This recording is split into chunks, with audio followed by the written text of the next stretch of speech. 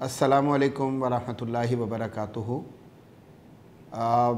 बिजली महँगी हो चुकी है, पेट्रोल महँगा हो चुका है, आटा, दाल, चावल, चीनी, सब्ज़ियाँ, हर चीज़ जो है आप जानते हैं कि उनकी कीमतें आसमान पर हैं। तो बात बहुत ज़्यादा हो रही है, मसाइल पर बात की जा रही है और बताया जा रहा है कि मसाइल बेशुमार हैं।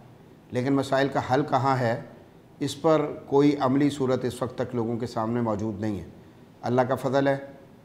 कि मरकज़ी मुस्लिम लीग ने बाकायदा तौर पर अमली इकदाम उठाने का फ़ैसला किया है और ये बताते हुए मुझे खुशी हो रही है कि सिंध भर में जो है ना बिलूम और बतौर ख़ास जो है वो कराची में अहतमाम किया इस बात का कि हम सौ से ज़्यादा मकाम पर कल, यानी इतवार के दिन इन सब्ज़ी सहूलत बाज़ार का इनका करें। और इन अल्लाह के फ़ल के साथ ये जो सब्ज़ी सहूलत बाज़ार होंगे, इन पर अवामनास को मंडी के रेट पर सब्ज़ियाँ फ़राहम की जाएँगी। और इन जो सहूलत में असर आएगी, वो इन बहुत वाज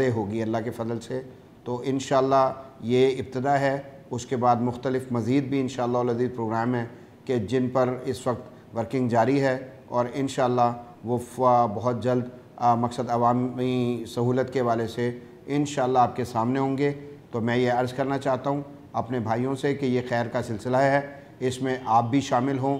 लोगों को अपने साथ शामिल करें ताकि ज़्यादा से ज़्यादा लोग जो हैं वो इस सहूलत से फ़ायदा उठा सकें। बहुत बहुत शुक्रिया।